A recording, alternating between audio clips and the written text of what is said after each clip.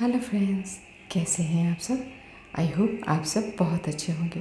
तो चलिए, आज फिर से चलते हैं अपने किचन की ओर और देखते हैं कि आज हमारे किचन में कौन कौन सी टिप है। लेकिन फ्रेंड्स, अगर आप मेरे चैनल पे पहली बार आ रहे हैं तो प्लीज़ चैनल को सब्सक्राइब करें। बगल में बेल आइकन है, उसे भी प्रेस कर लें ताकि जब भी मैं कोई वीडियो अपलोड करूँ, नोटिफिकेशन आप तक पहुँच जाए। और अगर आपके पास भी इस तरह की कोई टिप है तो आप मुझे लिख भेजें मैं आप सभी के साथ में शेयर करूँगी। तो चलिए चलते हैं और देखते हैं कि आज हमारे किचन में काम आने वाली कौन कौन सी टिप है। तो आज की हमारी पहली टिप है कि अगर आपको बिना फ्राई और फटाफट से घर पे गोलगप्पा खाने का मन हो ना तो ये टिप आपके लिए है। तो आप ले आइए रेडीमेड गोलगप्पे का पूरी। यानी कि जो आपका पापड़ जैसा पूड़ी आता है ना, वो, और डाल दीजिए उसे माइक्रोवेव में और इसे 40 सेकंड के लिए लगा दीजिए। आप देखेंगे ये एकदम ऐसा फूलेगा ना कि वो जो गोलगप्पे वाले गोलगप्पे बेचते हैं ना, वो भी फेल है।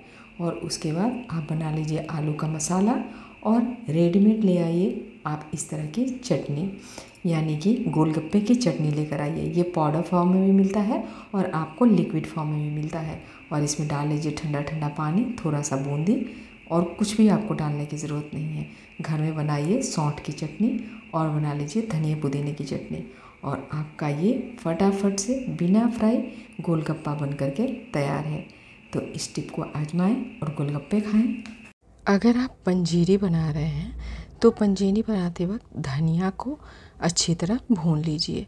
धनिया को अगर आप थोड़ा सा अच्छा गुलाबी होने तक भूनेंगे ना तो आप देखेंगे कि इसकी खुशबू भी अच्छी आएगी और ये पीसने में भी आसानी होगी और इसका कलर भी बहुत अच्छा आएगा और इसका कच्चापन भी दूर हो जाएगा और अब आप इसमें थोड़ा सा घी डाल लेंगे अगर, दो से तीन चम्मच।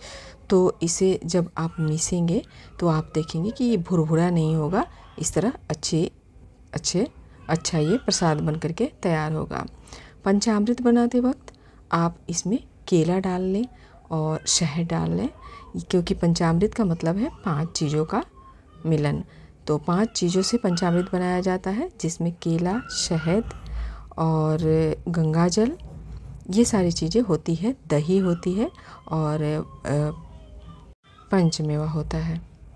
अगर आप ड्राई फ्रूट पाक बना रहे हैं तो सबसे पहले आप जितने भी ड्राई फ्रूट आपने ले रखे हैं पाक में डालने के लिए, उसे आप थोड़ा सा ड्राई रोस्ट कर लीजिए, यानी कि सूखा ही इसे भून लीजिए और भून करके और इसे हल्का सा ठंडा कर लीजिए और फिर आपको चाशनी बनाना है। चाशनी बनाने के लिए जितना आपने ड्राई फ्रूट ले रखा है जैसे कि अगर आपने एक कटोरी ले रखा है तो एक कटोरी आप चीनी लीजिए और उसमें एक चम्मच घी डालना है। घी डालने से होगा कि आपका जो पाक बनेगा, आपकी ये जो पट्टी बनेगी, ड्राई फ्रूट की पट्टी, वो बिल्कुल सॉफ्ट, नरम बनेगी, बहुत ज़्यादा हार्ड और करक नहीं बनेगी। और अब आपको पाक चेक करना है तो पाक आपको देखना है कि दो तार से ज़्यादा का होना चाहिए, जिससे कि आपका पाक अच्छी तरह जम जाए। तो आप जब भी इस तरह का पाक बनाएँ आप इस टिप को फॉलो करें तब बनाएँ।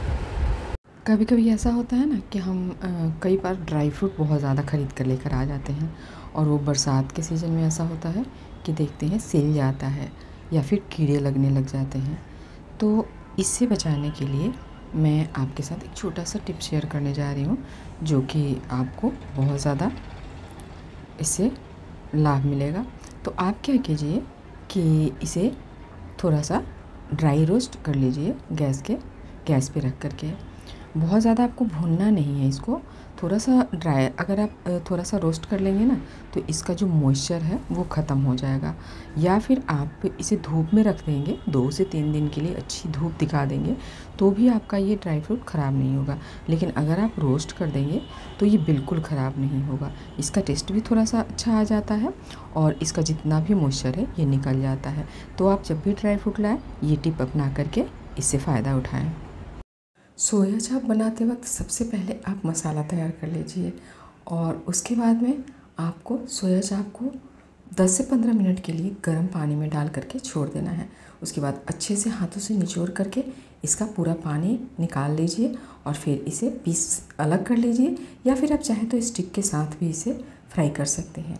उसके बाद जो भी खड़े मसाले और जो आपने प्याज, अदरक, लहसुन, टमाटर पिसा है ना, वो सारी चीज़ें डाल करके भून लीजिए। आप टमाटर बाद में डालिए। पहले सारा मसाला, नमक, प्याज, ये सारी चीज़ें भून लीजिए। टमाटर आप बाद में डालिए। इससे आपका जो स्वाद होगा ना, सोया चाप का, वो बहुत अच्छा आता है। आप चाहे तो सोया चाप को मैरिनेट करके दही के साथ में रख दीजिए। उससे भी इसका स्वाद काफ़ी अच्छा आता है। तो आप जब भी सोया चाप बनाएँ तो इस छोटी सी टिप को अपना करके सोया चाप बनाएँगे।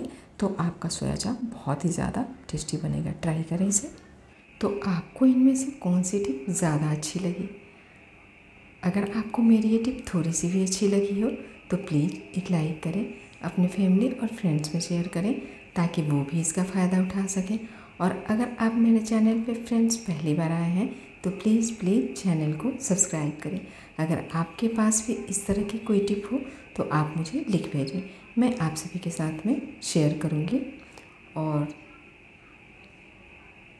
चलिए फिर मिलेंगे ऐसे ही किचन टिप में। तब तक के लिए take care and bye bye